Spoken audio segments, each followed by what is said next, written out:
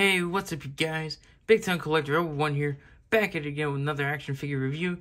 And today, we'll be taking a look at the DC Multiverse Platinum Edition Reverse Flash. Yeah.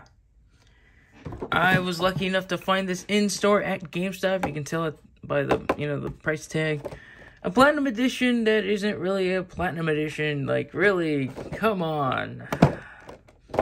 It's not really a character I really care for. I mean, I saw it in store and I just had to get it just so I can talk about it. Got Reverse Flash on the side, New 52. Here is the barcode. Like, seriously, how is this a Chase variant if it's got its own UPC? Am I right? Here's the DC Infinite QR code. On the back, you get some really cool artwork. On the side, you just saw that. Top. So let's get to it and crack them open. Before we take a look at the figure, let's take a closer look at his accessories. First comes with your basic DC Multiverse base, then a trading card, nice image on the front, and on the back you have a buy if you want to read it, pause it right now. But for his actual accessories, it's nothing new, it's just these plug-in lightning effects that we've seen multiple times with this body mold. It is the same thing as that Rebirth Flash body, but you know I like these. I would I always like these plug-in accessories. You can take you can also take this one, you know, for the foot and plug it into the stand for some extra stability, which is cool. Now let's take a closer look at Reverse Flash. As you can see, it is the same body as that Rebirth Flash, as I mentioned earlier. The only new part to this figure is the head sculpt, and it looks great. I really do like the new sculpt on the head. It looks awesome. It's got some nice, you know, sculpt work to it. I like the paint details. But that's really it. That's the only new thing about this figure. Everything else is just reuse from that old, you know, Rebirth Flash body, which we've seen multiple times. Just, you know, pulling out the speed metal Wally West, as you can see. Everything is the same other than the chest logo. This is the same one as the Reverse Flash one. And then the heads are obviously different. But what I will give this figure is a cool paint job. I really do like the color scheme for this figure. I do like the color scheme for the character at least. You know, the nice blacks and the reds. But, you know, it's just painted on. It would have been cool if it were sculpted on as, you know, a whole new sculpt. But then that would require it to be a, you know, single release. I, I bet, like, if it were all new sculpted, it would be a single release. Which, why isn't this figure not a single release? Like, ugh, seriously.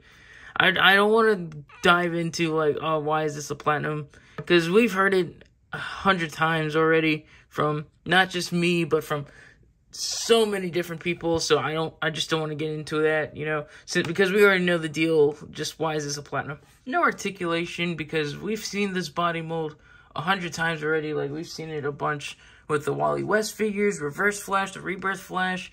So yeah, there's no need to take a look at it yet again. But measuring him out, he comes around seven and a half inches tall. Here he is next to the Speed Metal Wally West. As you can see, they share the same parts except for the head. And then here he is next to another evil speedster. We have Godspeed. Here's this reverse flash up in the rotating base. And I have to say this figure's pretty cool. I, again, it's just that Rebirth Flash body mold again, just with a new head and, you know, a different paint job. It's a cool paint job. I do like the colors on the character.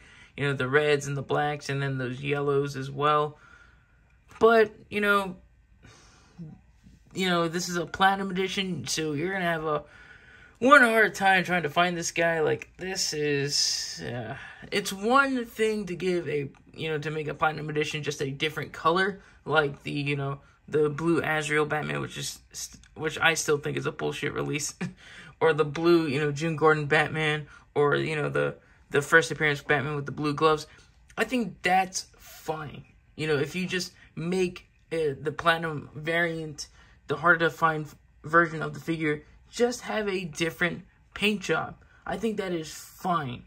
But making a Platinum Edition a completely different character with no, you know, original figure to base this, the base the variant on, makes no sense to make it a hard to find figure. Like, there's a lot of people, there's probably a lot of people who really want this Reverse Flash in their collection and you know people can't find it since it's so hard you know high in demand since it's um you know a platinum edition and you know it's you can't barely find it anywhere the one i'm looking for is the Manhunter robots. Like, I really want that Manhunter robot, but no, I can't find it so easily since it's a Platinum Edition. And I'm very upset about that. Hopefully I find one because I really do want to talk about that one. But yeah, again, I'm not going to go too deep into it because we've already heard this a million times. But if you do want, you know, some help, they are hitting GameStops. Like I uh, people have been finding these platinums at GameStop and apparently the story is if you ask the cashier, they can give you the locations of where they are, uh, like in um other GameStops.